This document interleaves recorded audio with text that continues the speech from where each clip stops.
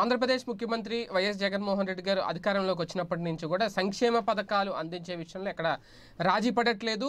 అందరికీ కూడా పార్టీలకు అతీతంగా ప్రతి ఒక్కరికి ప్రభుత్వం అందించే సంక్షేమ పథకాలు అర్హులైన వాళ్ళందరికీ కూడా చేరాలి అనేది. దీంట్లో భాగంగానే కొన్ని వ్యవస్థలను ఏర్పాటు చేశారు. గ్రామ వాలంటీర్ వ్యవస్థ కానీ గ్రామ సచివాలయ వ్యవస్థలు కానీ అక్కడ పనిచేసే సిబ్బందికి ప్రభుత్వం అందించే సంక్షేమ పథకాలన్నింటినీ కూడా ఆ సిబ్బంది ద్వారా నేరుగా ప్రజలకు అందించడం. యాభై ఇల్లు వందలకు ఒక గ్రామ వాలంటీర్ని ఏర్పాటు చేసి. అయితే ఇక్కడ ఈ వ్యవస్థని పతనం చేయడానికి లేదంటే ఈ వ్యవస్థ సక్రమంగా పనిచేయట్లేదు అని చెప్పే ప్రయత్నంలో తెలుగుదేశం పార్టీ తీవ్ర ప్రయత్నం అయితే చేస్తుంది ప్రతిపక్ష హోదాలో.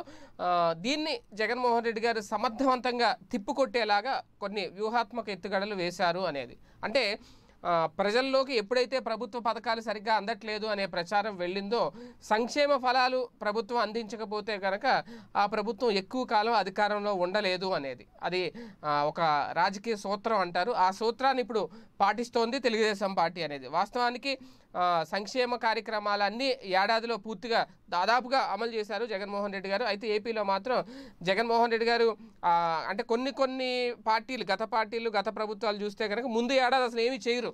కానీ జగన్మోహన్ రెడ్డి గారి హయాంలో ఆయన డే వన్ నుంచే ముఖ్యమంత్రిగా ప్రమాణ స్వీకారం చేసిన మొదటి ఏడాదిలోనే దాదాపు అన్ని నైంటీ పర్సెంట్ సంక్షేమ పథకాలన్నీ అందించేశారు. సో ఇటువంటి నేపథ్యంలో ఇదొక రికార్డుగా ఎప్పుడైతే గుర్తింపబడిందో దాన్ని తిప్పుకొట్టే ప్రయత్నం ప్రతిపక్షం చేసింది. అది కూడా సోషల్ మీడియాని వేదికగా చేసుకొని ఇప్పుడు చేస్తోంది. అయితే జగన్మోహన్ రెడ్డి గారు కూడా ఏదో అంటారు కదా ముళ్ళుని ముళ్ళుతోనే తీయాలని. అదే సోషల్ మీడియాని వేదికగా చేసుకొని అదే సోషల్ మీడియాని వాడుకొని ఇప్పుడు తెలుగుదేశం పార్టీ వేస్తున్న ఎత్తులను కుయ్యెత్తులను తిప్పికొట్టాలి. సంక్షేమ పథకాలు ఎంతమందికి అందుతున్నాయి ఎంతమందికి అందట్లేదు. అందని వాళ్ళందరూ కూడా ఎవరికైతే అందట్లేదో వాళ్ళందరినీ కూడా ఇమీడియట్గా అర్హులైతే అర్హులుగా గుర్తించి వాళ్ళకి ఇమీడియట్గా పథకాలు అందాలి. దీనికి సంబంధించి స్థానికంగా ఎమ్మెల్యేల మీద పూర్తి బాధ్యత పెట్టబోతున్నారంట అతి త్వరలోనే. అంతేకాకుండా సోషల్ మీడియాను కూడా ఇందుకు సంబంధించి ప్రత్యేకంగా సోషల్ మీడియాను కూడా రెడీ చేస్తున్నారు. సోషల్ మీడియా ద్వారా రెగ్యులర్గా అప్డేట్స్ ఇస్తూ ఏ గ్రామంలో ఎక్కడ ఎంతమందికి సంక్షేమ పథకాలు అందుతున్నాయి అందని వాళ్ళు ఎంతమంది అర్హులు ఎవరు అనర్హులు ఎవరు ఇది ప్రతిదీ కూడా ఎవ్రీథింగ్ ప్రతి సమాచారం కూడా ఇప్పుడు సోషల్ మీడియాలో పోస్ట్ చేయబోతున్నారు.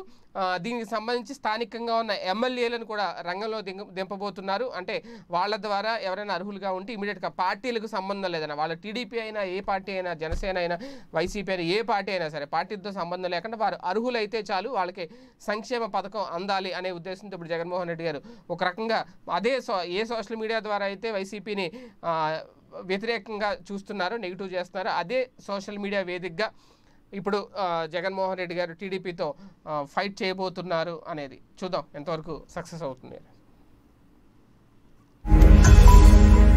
ఈ వీడియో గనుక మీకు నచ్చినట్లయితే లైక్ చేయండి షేర్ చేయండి.